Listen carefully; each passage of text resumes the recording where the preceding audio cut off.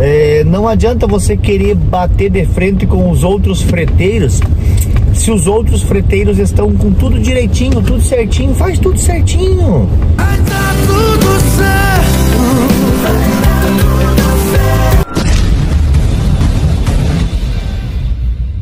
Buenas gurizada, bom dia, boa tarde, boa noite, boa madrugada Jonathan Daniel Matos para mais um vídeo Como é que você tá? Tudo bem bom com você? Tudo certo? Então tá, hoje dia 7 de agosto 2023, 10 horas 4 minutos Temperatura 17 graus, tempo chuvoso, tá vendo aqui ó Tempo chuvoso aqui no no litoral norte do RS Gurizada, no vídeo de hoje eu vou dar Uh, ah, para começar bem a semana, tá? Uma diquinha para te ajudar a iniciar de forma única, exclusiva e se diferenciar dos demais, para começar bem nos transportes, para começar com o pé direito, para ter mais chance, certo? Para estar mais na vitrine, para ser mais procurado, para facilitar mais na busca de uh, fretes e também de clientes, tá bom?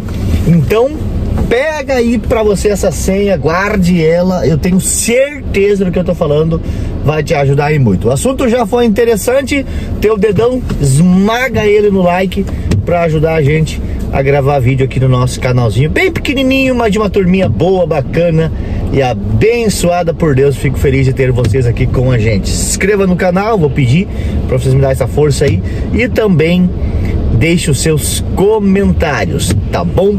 Gurizada, é simples. O que, que você faz para se diferenciar dos demais, para você aumentar as probabilidades de fechar transporte, fechar fretes? Simples, é muito simples. Epa, é muito simples ao mesmo tempo não é. Você precisa se profissionalizar. Essa é a realidade, gurizada. É, não adianta você querer bater de frente com os outros freteiros se os outros freteiros estão com tudo direitinho, tudo certinho. Faz tudo certinho. Faz tudo certinho. Faz simples, faz tudo certinho. Uh, quer começar, quer trabalhar nos transportes? Meu tia, vai ser atropelado desse jeito. Uh, faz tudo certinho. E como que faz tudo certinho? Eu vou lhe dizer, ó, uh, começa começa começa nos transportes eh, colocando placa vermelha, fazendo a NTT. Aí você vai dizer, Jonathan, mas eu só atendo regional. Não, tranquilo, tranquilo, eu te entendo. Eu te entendo que no regional, com, com, com, com, com itens uh, de mudança, fretes usados, eu, eu entendo, eu entendo que você vai dizer que é desnecessário. Tudo bem, tudo bem, é aceitável e eu sei porque eu trabalhei muito tempo assim, tá, gurizada? Então não quero questionar você, só quero dizer que aumenta as probabilidades de você conseguir fretes melhores e sair daquele mar de piranhas, como dizem, quando é lançado ali, ó. Imagina o frete como um pedaço de carne. Ele é lançado ali num, dentro da água e aí tem lá 10 mil piranhas querendo comer esse pedaço de carne, tá? E quando você começa a se profissionalizar, fazer as coisas mais certinhas, né? Ficar mais profissional, mudar o teu físico pro teu jurídico, fazer um CNPJ, tu ter todas essas coisas aí, é, o número de piranhas, desculpe a expressão meio esdrúxula, desculpe mesmo, mas é uma forma engraçada e que é de fácil compreensão. Estou usando isso para ser fácil você compreender. Quando você é, se profissionaliza mais, o que que acontece? Automaticamente o número de piranhas à tua volta diminui. Então, quando você está agora no meio de 10 mil piranhas para pegar um pedaço de carne, quando você eh, consegue algumas coisas a mais dentro do currículo do teu negócio, tá? Oferecer mais, você acaba diminuindo o número de concorrentes, sabe? Então, o pedaço de carne agora é disputado entre 100 só. Antes era entre 10 mil. Entendeu a diferença? Certo? Então, se cair 100, fre 100 fretes, tem 100 piranhas, 100 para as carnes, vai dar um para cada um, né? Se cair 100 para as carnes para 10 mil piranha, a maioria vai ficar 100, ok? E essa, essa maioria pode ser você, e por isso que muitas vezes está muito fraco de frete, tá?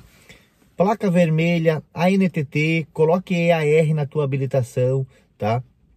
Uh, se você não for abrir uma empresa e tal, uh, abra o MEI, abra o MEI, coloque o um nomezinho lá na tua empresa, tá? Divulgue não o João dos Fretes, divulgue a empresa dos fretes, tá? Que pode levar o teu nome, não tem problema, tá?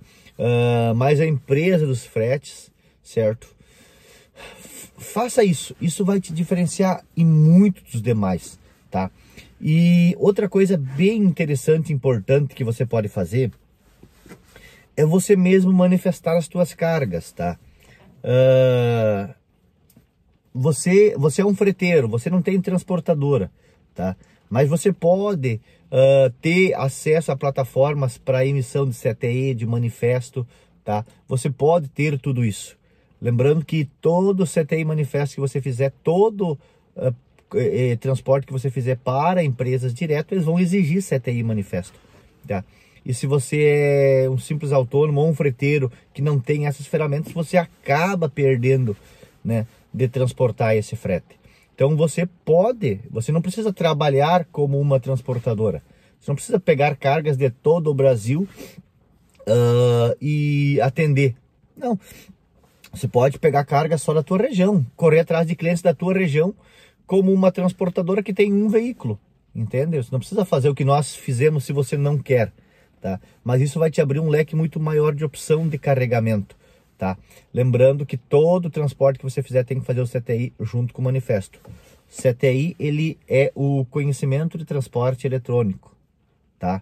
É, é a nota fiscal da prestação de serviço de transporte. Mas ele sem o manifesto não vale nada, ele precisa estar manifestado, tá? Ou seja, o manifesto é para a leitura dos CTIs que estão ali dentro e os CTIs têm as notas, a chave das notas fiscais. Tá? Então, se você chegar numa barreira, em alguma fiscalização sem manifesto, você precisa ter o um manifesto, tá? Uh, e o manifesto, ele, a gente chama de manifesto assegurado. Por quê? Porque quando tu emite um manifesto em cima do CTI, a carga é averbada, mas na verdade a averbação já acontece no CTI, tá? Quando você emite e manda para o Cefaz ou CTI, o CTI já está averbado com o seguro, tá? E aí você vai dizer, ah, Jonathan, mas eu não tenho muitos clientes, muitos carregamentos e eu não, para mim não vale a pena contratar um seguro. Eu sei, o seguro é caro pra caramba, tá? Mas eu não sei se você sabe, você pode contratar o seguro individual, tá?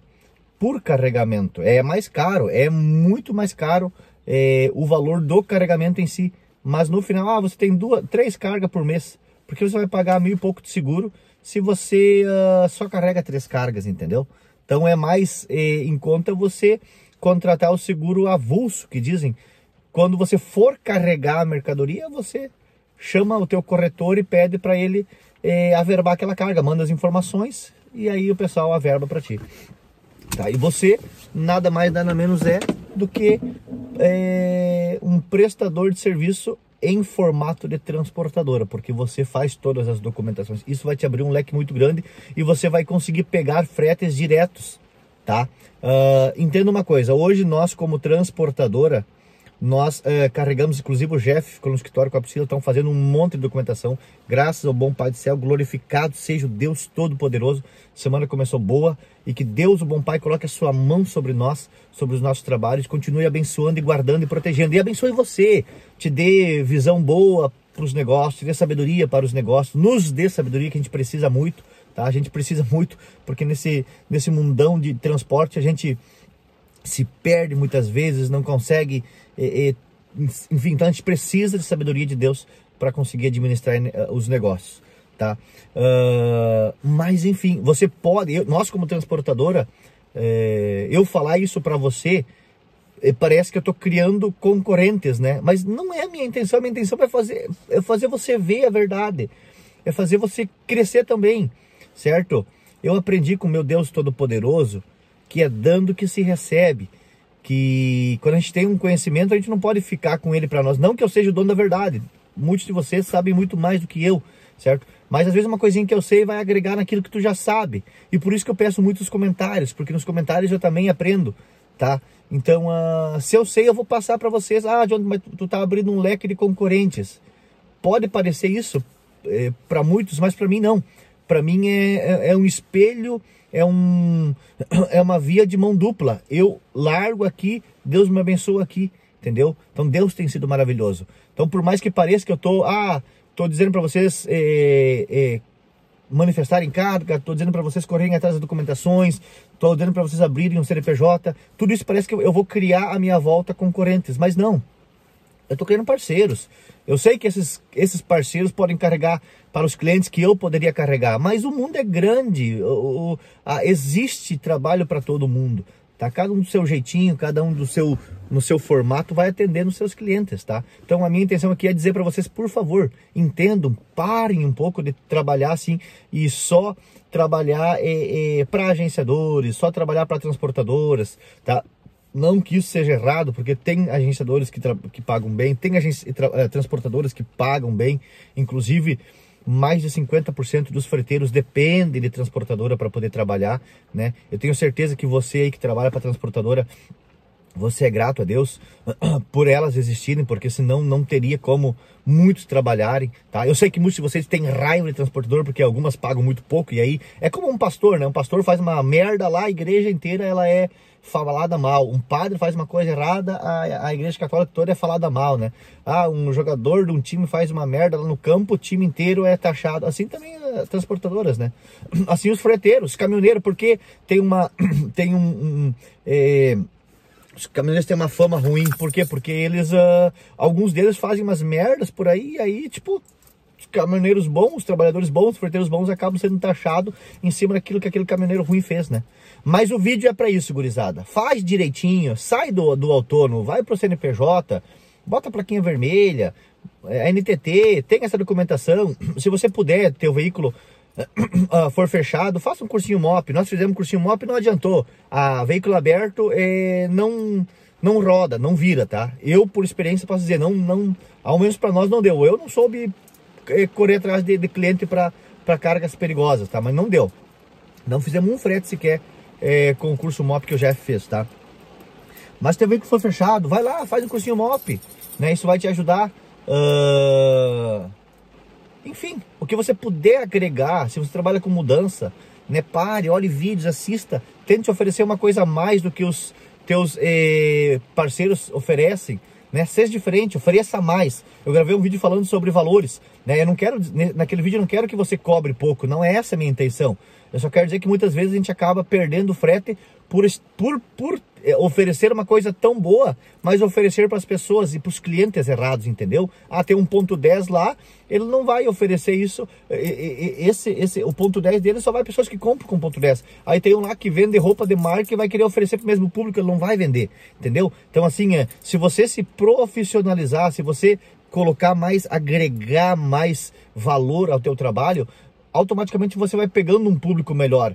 Entendeu? Então, uh, tem que fazer 10 fretes para ganhar um lucro bom. Tu pode ganhar isso num frete só às vezes, entendeu? É, sabendo ir atrás dos clientes certos que querem esse tipo, que precisam desse tipo de serviço, serviço profissional, tá? Então, faz direitinho. Uh, se você puder manifestar carga, manifeste carga, tá? Isso vai fazer você ir direto para a fonte, porque se você não manifestar, você vai para a transportadora.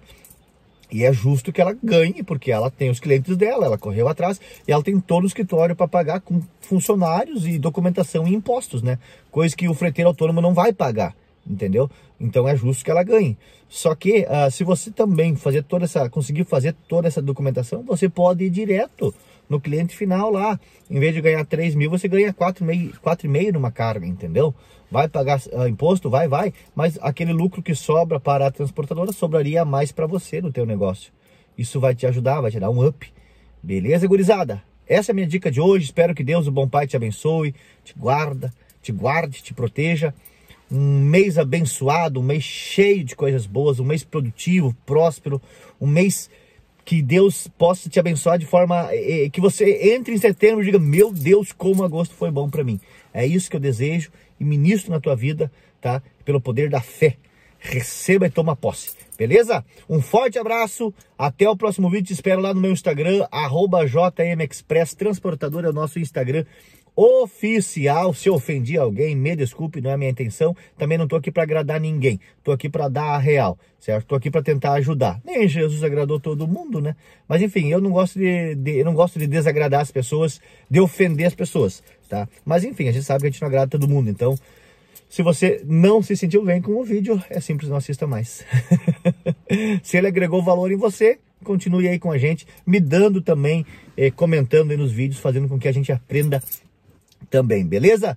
E uh, se você discorda do que eu falei, o vídeo está aberto, os comentários estão abertos aí para você colocar uh, o teu ponto de vista e pode ter certeza que isso será muito bem-vindo, tá? Para o crescimento da galera do canal, ter pontos de vista diferentes tá bom?